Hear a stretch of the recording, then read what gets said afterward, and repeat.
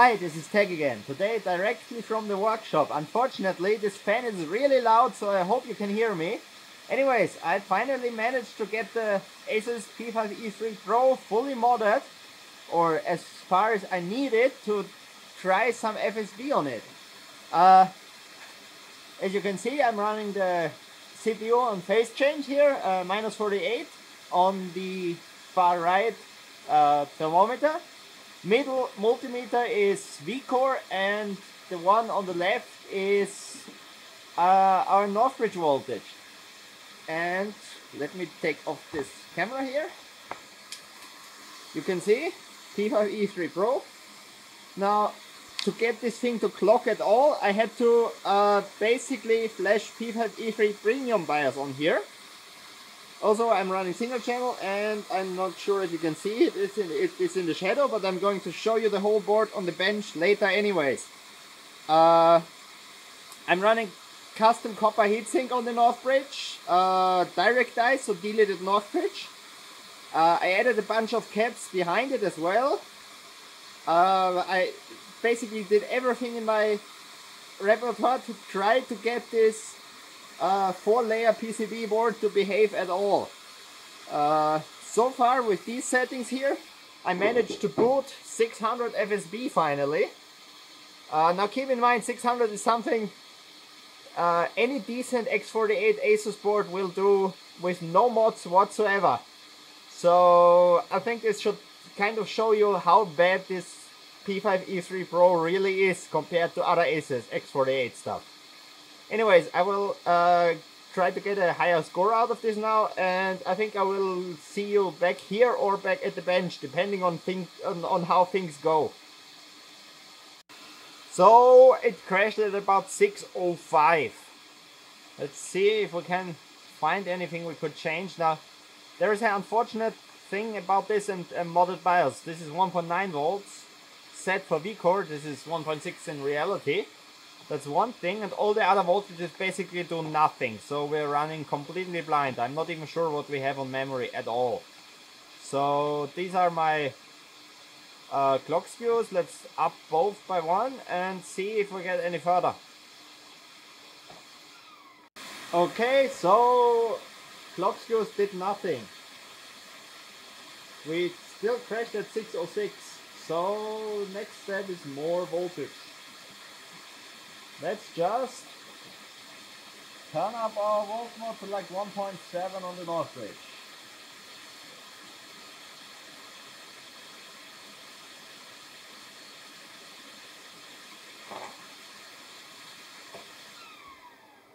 Let's see what, how this does, but well, I already reached my original goal, which was uh, 600, so that's good, I guess. Okay, so this got us to about 6 or 7, but then the board crashed and it doesn't post uh, like stock settings over 1.6 volt Northbridge. So this is going to get really annoying. I think the next update will be from the bench and well, just a final summary of what I did to the board and my scores I got out of it. Okay, here we are now. This is certainly, I would say, the most useless board we had on the bench so far. But anyways, a few little things I did to it. There's a copper heatsink here. Actually, let's take this off so you can see the deleted X48 underneath there. Uh, now, as I mentioned before, this board needs a BIOS mod to a P5E3 Premium BIOS to clock at all. Now, there is also another slight issue here. Uh, BIOS chip size. The P5E3 Premium BIOS is too big for the standard BIOS chip that is on here usually. So you have to swap this as well. Not that I would recommend any of you get this board. This is, uh, well, the worst Asus X48 board in my opinion, definitely. Uh, there might be some uh, DDR2 ones that are worse, but I think there is not because the only two DDR2 ones I know of are the P5E Deluxe and the Rampage Formula, and those are definitely way better than this. Both of them are. Uh, anyways, nice little deleted X48 here. That's, well, I, I'm not sure how much that actually gained us. There's also some other mods here I replaced. Well, this one is unpopulated on the board when it, like stock board. So I, I added a cap here and replaced these with better ones, brand new ones with 8 milliohm ESR, just to be safe. The back here, uh, I'm not sure if this is going to focus, let's see, yes it does. There is a bunch of MLCCs here. The stock board doesn't have any components on the back, so everything you can see here uh, is what I added to the board in a hope that it would do any something. And I, am not sure how much of it is pure mm, Northbridge voltage, because before I was stuck at like 600, uh, 567 FSB, but that was with I think 1.4 volts on the Northbridge. So how much these really gained me, I didn't test on this board, but I know that they gave me about 5 megahertz on a I think P5E3 Premium where I replaced the stock ones with better ones. So there's definitely a point in doing this uh, with proper boards. And this I just did it because I was bored and well I, I was uh, under the impression that 600 is basically impossible so I wanted to give it every chance I could to do 600. Now it did 600 and I'm well I'm going to remove the mods from this board and just put it on eBay for some retro build or something. Uh, because like as bad as these boards are for overclocking, it's still a X48 Asus with DDR3. So it's still worth something at least. Uh, as you can see, Northbridge Volt mod, there's also, let me show you, maybe you can see it, I'm not sure if you can. Let's hope this focuses. There is uh, right here a resistor piggybacked onto another resistor that is the switching frequency mod. So I upped the switching frequency from about 300 kilohertz to about 520 or 550 uh, for the Northbridge VRM. Now I wouldn't recommend doing it on this board because it had, has those terrible Nikos semiconductor MOSFETs uh, but something like a Rampage formula or there is a P5E64. I'm, I'm going to do a full full guide on that one, like uh, overview and this mod here. There I would definitely re recommend it that they use way better FETs on that. So by way better I mean FETs with uh, lower RDS on, so basically faster switching uh, MOSFETs. With these they get rather hot with the switching frequency mode, So I think before I sell the board, I'm going to remove that one as well. And I'm also putting the lid back on here with some uh, MX5 or KPX or something. And some silicone, I think.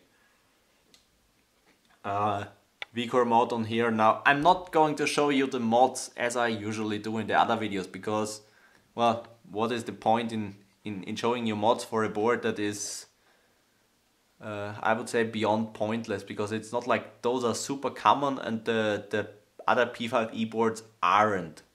So it's really just the worst the worst version of the P5E series, the DDR3 ones. So I would say from this there is only only up. Uh, the next Asus in the list I would say is P5E64 uh, WS Evo. That is mostly because it has single phase Northbridge VRM that it doesn't overtake the P5E3 Premium. Then P5E3 Premium or Rampage Extreme. Uh, those two can be swapped around depending on if you're running 65 nanometer or 45 nanometer basically. For 45 nanometer Rampage Extreme is better, for 65 the P5E3 Premium. Anyways, I think that's that's about it about this board. Uh, again, the reason why this board is so garbage is because it has a four layer PCB. I found that out after purchasing it. Let's see if we find the... Where's the layer counter? swear it was in one of these corners. Can't see it right now. Interesting. Oh, here it is. Yes. Okay, if I barely can see it, you probably won't be able to see it at all. Let's see if this focuses. I don't think so. Maybe with my hand in the background. Come on. I'm not sure if you can see it, but there is a, a very faint 4 up here. So this is 4 layer PCB, which means it has 2 layers less than any of the other boards and 4 layers less than the Rampage Extreme and the WS Evo. So yeah, that, that I basically purchased the board because I thought it was just like stripped down P5E3 Premium and I could just uh, like flash P5E3 Premium BIOS and go. But unfortunately I'm still held back by the 4 layer PCB and there is probably no way to uh, find a way around that. So my recommendation don't buy just stay away from the Pro.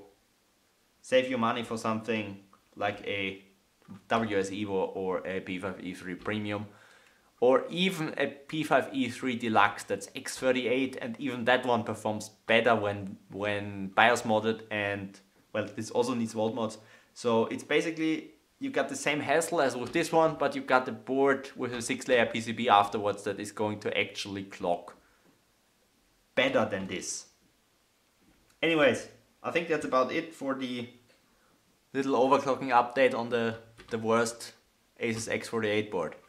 Bye.